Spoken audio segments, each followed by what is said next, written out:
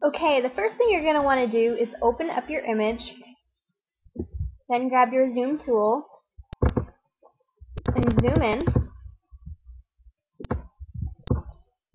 Then you're going to want to grab your healing tool, and then make the brush a little bit larger by going to scale.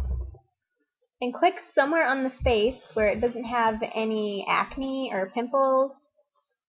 Push control on your keyboard and then left click.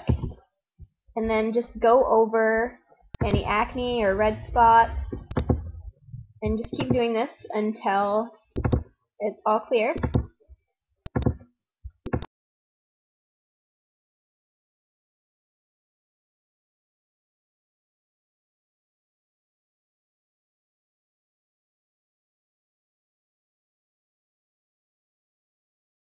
Okay, now once you've done that, you can take your zoom tool again and zoom out, see if you missed any spots or you want to correct anything else.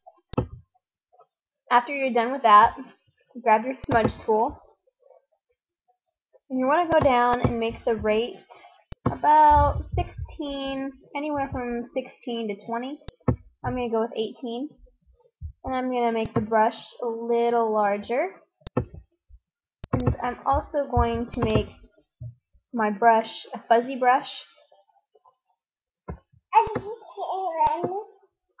And just go over the skin.